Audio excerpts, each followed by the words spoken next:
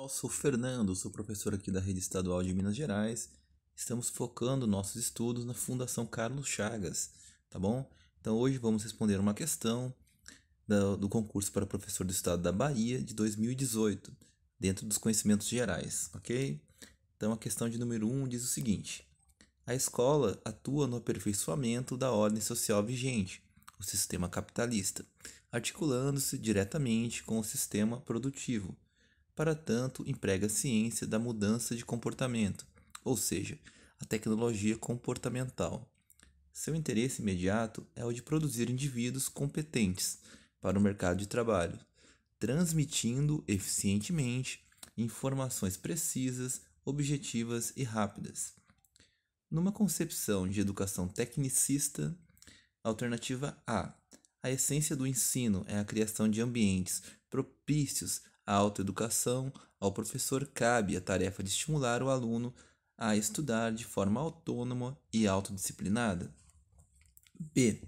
A ação do professor tem como foco principal o interesse espontâneo do aluno a ser alcançado por meio de atividades significativas que levem à concentração natural nos estudos.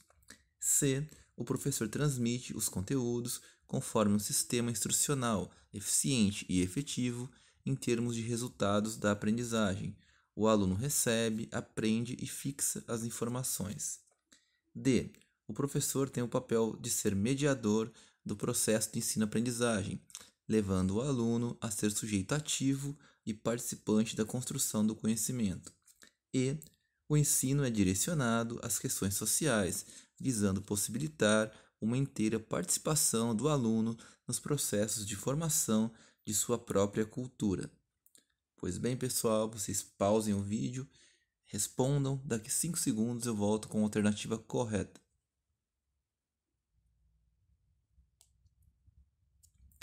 Pois bem, pessoal, a alternativa correta é a letra letra C.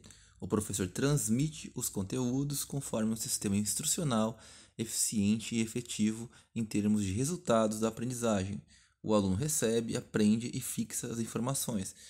Pessoal, quando ele fala assim, ó, no próprio enunciado, seu interesse imediato é produzir indivíduos competentes para o mercado de trabalho, transmitindo. Então, o professor transmite eficientemente. Né? Então, fala que a própria o enunciado fala o que está dito aqui na, na questão. O professor transmite os conteúdos conforme um sistema instrucional eficiente. Então, transmitindo eficientemente é, informações precisas, objetivas e rápidas, né? Então o aluno recebe, aprende e fixa as informações.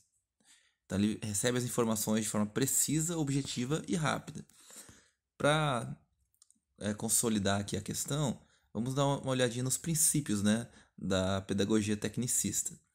Os conteúdos est estão embasados na objetividade do conhecimento e os métodos eram programados passo a passo, com uso de livros didáticos principalmente. O diálogo entre educador e educando era apenas técnica, com o intuito de transmitir o conhecimento de maneira eficaz. A avaliação estava pautada na verificação formal, analisando a realização dos objetivos propostos. Ok, pessoal? Então, essa aqui é a questão relacionada à educação tecnicista. Essa é a minha colaboração de hoje e até a próxima.